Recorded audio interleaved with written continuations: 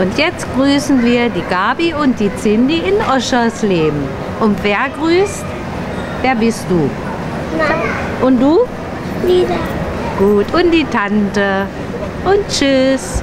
Ich grüße meine beste Freundin Sina, meinen besten Freund Nico, meine Familie und Elena und Caroline. Also, ich soll jetzt hier jemanden grüßen und dann grüße ich meine Tochter in Berlin. Ich hoffe, der geht's gut und äh, die macht ja auch so eine Arbeit als Moderatorin, wie ich jetzt hier auch tue. Und dann grüße ich sie ganz lieb und könnte also auch noch meine Frau zu Hause grüßen. Also Anna, hoffentlich geht's dir gut und Romina auch.